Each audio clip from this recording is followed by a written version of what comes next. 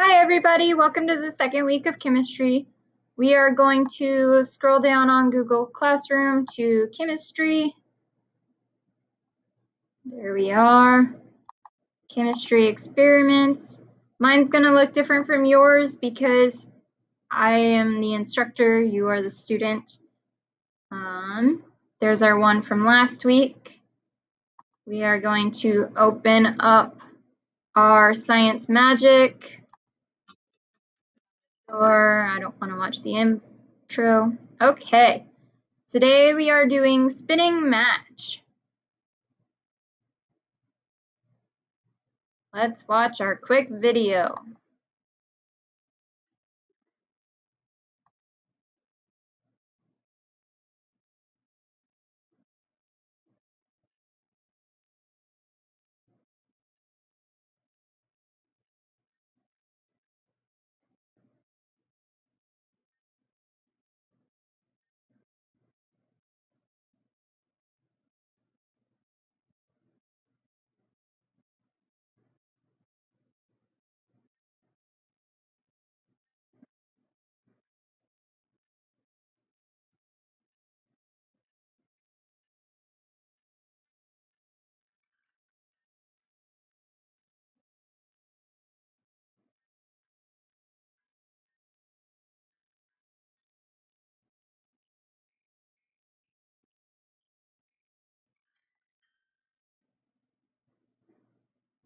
Okay, there was our question there. Why do you think the match moves? It shows that you need safety goggles. If you don't have them, you this experiment will not hurt you if you don't have safety goggles. Okay. We need a plastic cup, a matchstick or a toothpick, two nickels, and if we are not lighting the matchstick, so if you are using a matchstick, technically it is not lit, but I still want you to ask your parents permission before doing this and let them know that we are not lighting the matchstick in this video. It is just going to be spinning under the cup um, without being lit. Okay. Helpful hints.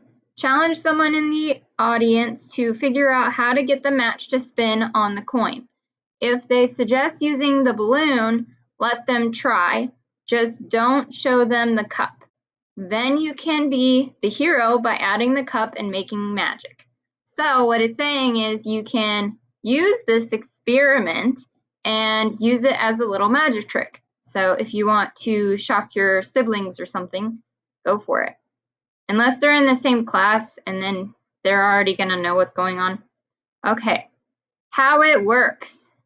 Here we go to read all about it, and that takes us to how it works. I do want you to read this section. However, I don't want you to read it before you do the experiment. I want you to read it after you do the experiment.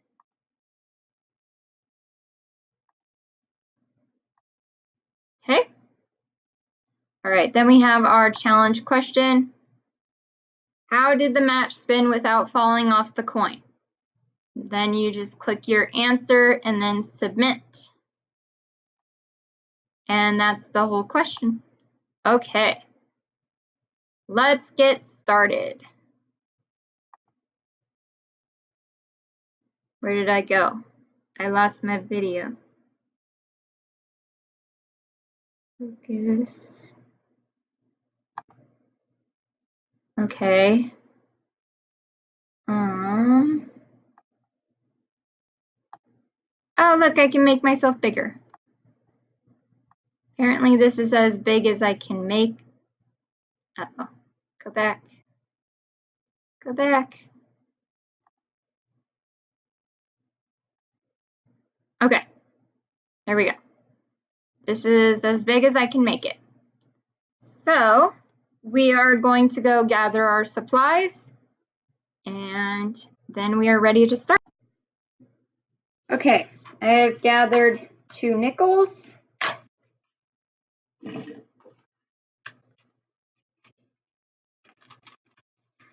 a matchstick.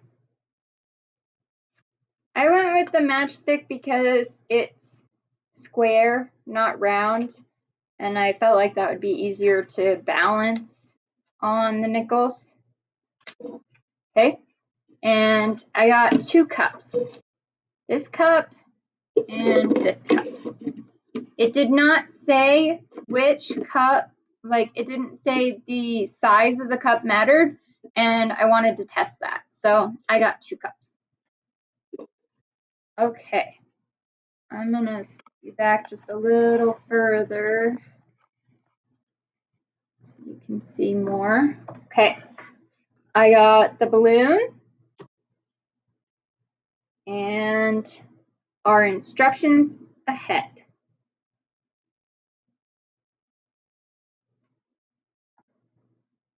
Okay, so we had to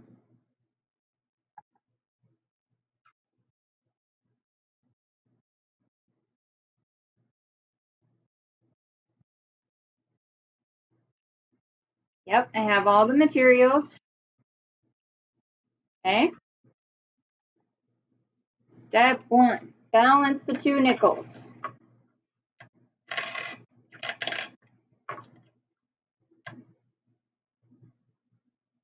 Okay, I balanced the nickel and I use tails as my bottom base. Okay.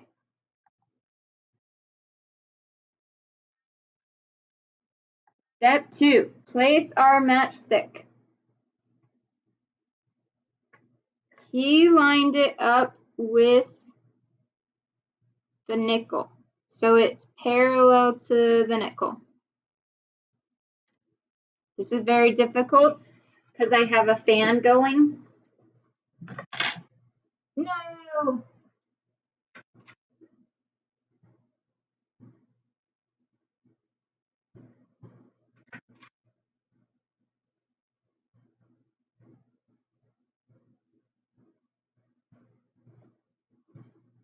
Okay, I turned the fan off. Let's retry this. Balance the nickel. Hopefully I have enough. Nope. This is difficult. Apparently here the skill is balancing the match.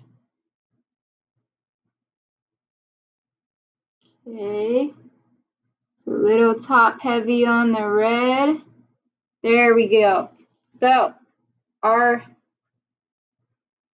I'm actually going to bring you closer and zoom in.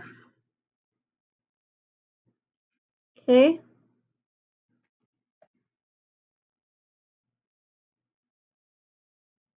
There we go. All right.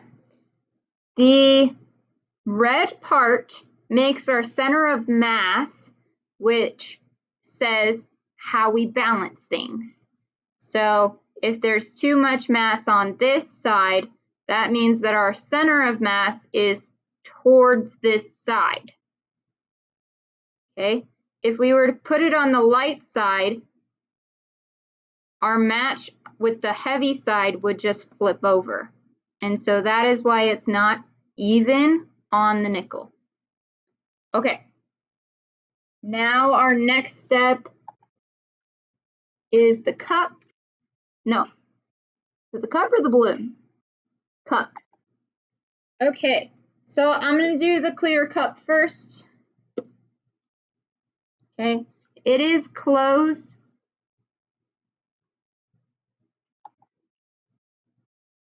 Okay. Step four, blow up the balloon and tie it.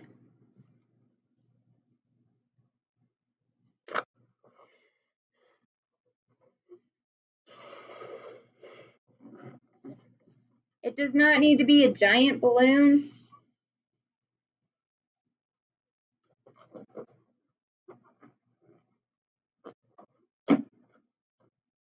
Okay.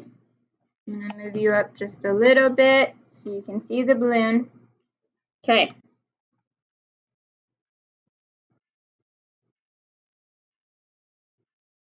Rub it against our belly.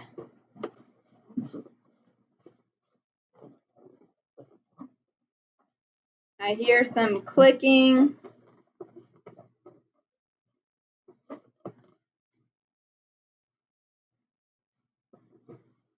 Okay. Step six. Move the balloon around the cup. All right, let's try it. Oh, my match died. I'm gonna have to rebalance my match.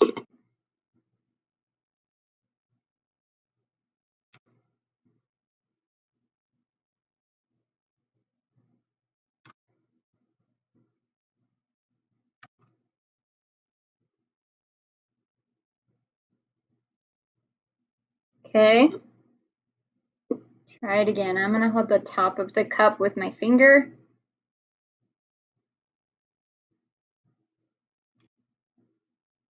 It works for a few seconds and then it falls off.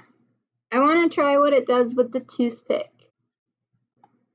I think my matchstick is just a little too top heavy. So I got a toothpick, which center of mass should be in the middle for the toothpick. Okay. That was a little too tilted, so there we go, that's perfect. Okay. We're up against my belly again. Okay, let's try again.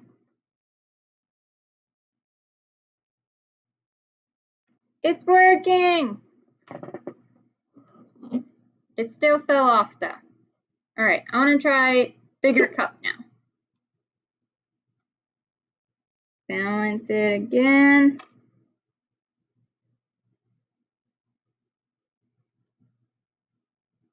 I want it to be completely level so it's more likely to stay on.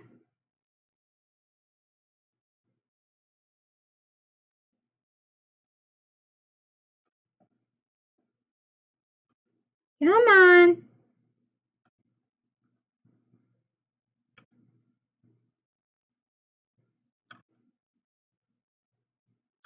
I hope you guys are having better luck with this than I am.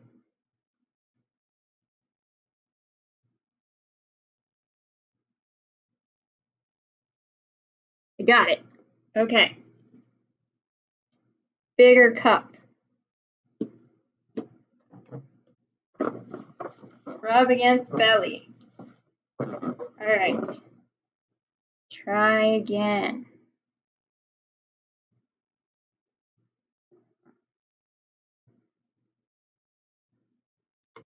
Oh, I made it about 180 degrees and then it fell off. Okay. And then I had one other idea. Is it going to have the same effect if I used glass instead of plastic? So, balance my toothpick again and apparently now my nickel.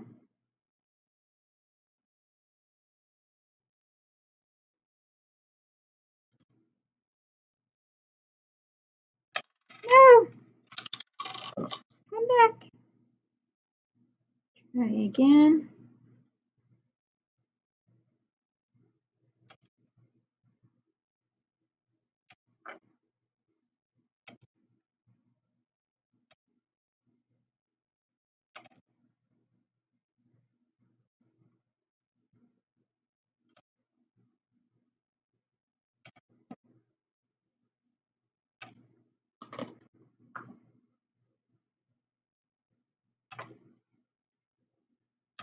I will get this.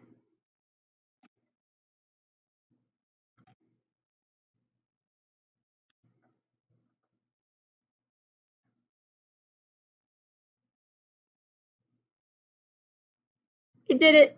Okay. So I got a glass. jar. And I want to see if it does the same thing. Okay.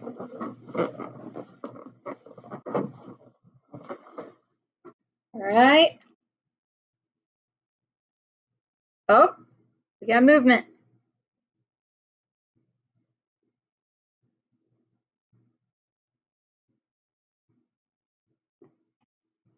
Oh, we had a little bit of movement there. It still seemed like once I bumped the jar that that's what tilted the toothpick to fall off, but it still worked with glass.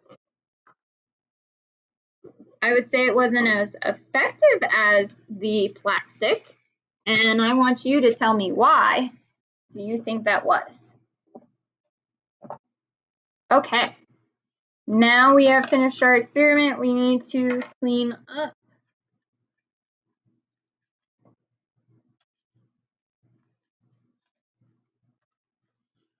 Go to our challenge question. How did the match spin without falling off the coin? Now, remember it did eventually fall off the coin, but to the point of before it fell off the coin, why did it spin? Okay. Was it static electricity from the balloon pulled on the match? The cup reduced the static force, which, along with reduced friction from the coin, allowed the match to spin without falling off. Or static electricity from the balloon pushed the match away. The cup reduced the static force, which, along with reduced friction from the coin, allowed the match to spin without falling off. And again, that's before falling off because I couldn't get it to stay on the coin. Let me know if you got yours to stay on the coin. Okay, and our third option is it's magic. Okay, once you have your answer, click submit. Then go to read all about it. Scroll down. The science of static electricity and friction makes the matchstick rotate. See that? Static electricity, that's the same thing that when we rub the balloon against somebody and we can take it next to somebody's hair and it can pull their hair. You see it? Ah, there we go.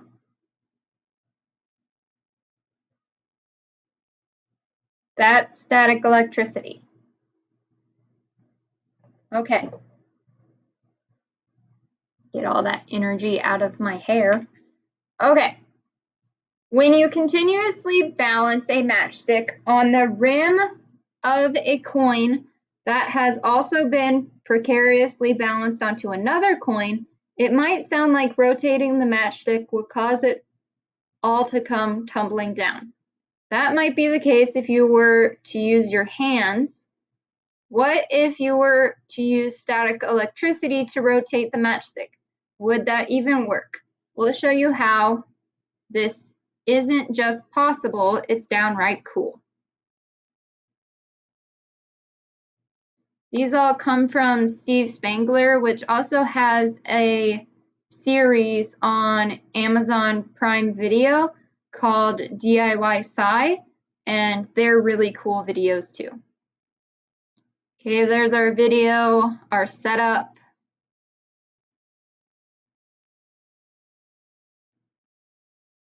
He had his matchstick the same way. However, it does look like our matches are composed a little differently. He has a white tip and I had a full red tip. I don't know if that mattered at all. Okay. You do not need to subscribe unless your parents want to. How does it work? You probably guessed this by now since you rub the balloon against your shirt, hair, or carpet, but this experiment revolves around static electricity. When you rub the balloon on a coarse surface, you give the balloon additional electrons. generating a negative static charge. Meanwhile, the match delicately balancing inside of the cup has a neutral charge. That means its charge is zero.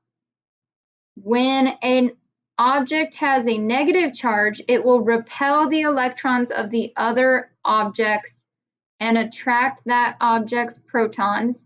Protons are positively charged. Pro protons, P, positive. You can also find a plus sign in that T to help you remember. Positive protons. See? Positive. Okay.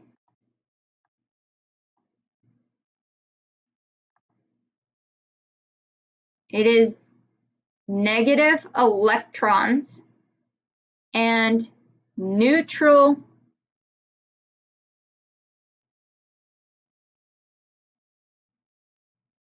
electrons are always negative. Neutral means that it has zero charge. The only way to really remember that is neutral technically always means zero or the middle point. And so keep your little positive P with that. Okay, let's continue. When the neutrally charged object is light enough, like the match in this case, the negatively charged object will attract the lightweight object, but try attracting a match while it's laying on a table. It doesn't work. So let's try that.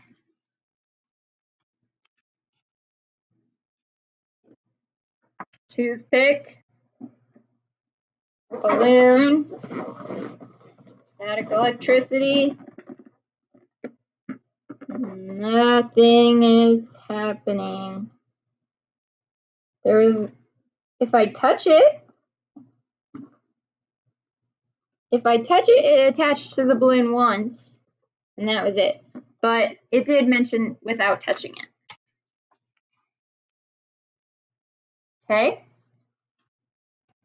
When, oh, we read that already. But try attracting a match while lying on the table. It doesn't work. You need to reduce the amount of friction acting on the match for this experiment to work. And that's why you balance the match on the rim of a nickel. Balancing the match enables less surface area to be directly affected by friction, which enables the match to rotate more freely. Okay, so we have this whole flat section. If we have this whole flat section laying on something, every little individual molecule is interlinking with my fingers, and that is causing friction. Now, if I was to only have it on just a little bit, see how the surface area changes, and now it's only that little bit on my finger. So that's what it's talking about there. Okay. And then it gives us a science fair connection if you wanted to read over that. And related products. You do not need to buy any of these things. That's a Steve Spangler thing. Um, and that's it. So we have completed the spinning match. Please let me know your answers to the challenge question and did you get your match to spin fully? Let me know. All right, see you next time.